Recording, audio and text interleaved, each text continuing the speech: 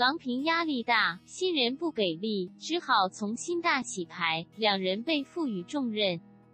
小编提醒：需要中文字幕的朋友，请点击右下角打开字幕。请您点击右下角图标订阅，多谢您点赞，欢迎您评论。二零一六年里约奥运会之后，中国女排的影响力就传播到了大江南北，让更多的观众关注起了这个体育项目。三年时光已过，今年又再次迎来了世界杯和明年东京奥运会的到来，任务非常的艰巨。而且作为两大赛事的卫冕冠军，不仅要面对各国队伍的巨大挑战，还受到新老球员接替期间并不顺利局面的困扰。近几年来，可以算是只有李盈莹进入国家队训练后有着比较好的成绩，其他小将和新人虽然得到了机会，但是最后几乎都被否决了。在新人们不给力的情况下，郎平面临的压力空前的巨大，只好重新大洗牌。这两人被赋予了重任来解决接应位置的燃眉之急。接应位置是目前郎平最为担忧之一的一个位置。虽然有着主力接应龚翔宇的坐镇，但是他本人也还是需要更多的大赛洗礼和技术上更多细节的把握。另外一名老将曾春雷虽然还活跃在赛场上，但是他的能力已经非常明显的出现了整体的下滑。郎平的担忧也是合情合理。来自山东女排的杜青青可以算是郎平在今年看中和被赋予重任的一名小将。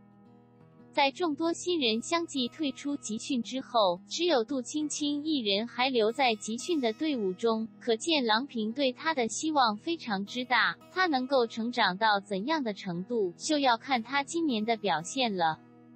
相比于龚翔宇来说，他所要学习的东西还有很多。而龚翔宇也是在里约周期时经历了奥运会和世锦赛的洗礼才站了起来。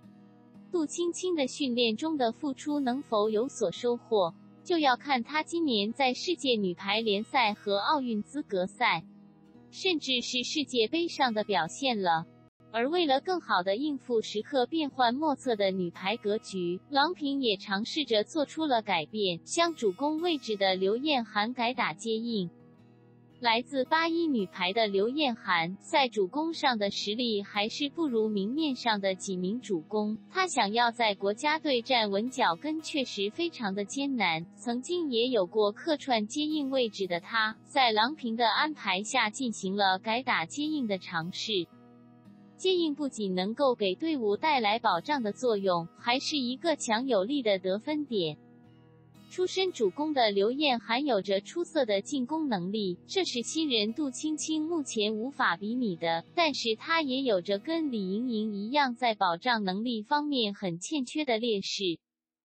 她想要成功的进行转型，在国家队接应位置缺人的时候站稳脚跟，要在保障能力方面做出巨大的训练和改变。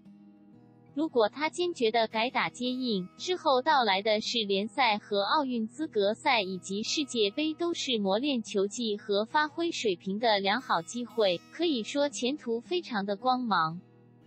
世界杯和奥运会带来了无比艰巨的挑战，外国队伍也是天才辈出和快速成长。这两大压力之下，郎平只能做出改变和尝试，在做足了备战的情况下，也不能落下为中国女排培养新人的长远打算。郎导，您辛苦了，新人们还需加倍努力，中国女排加油！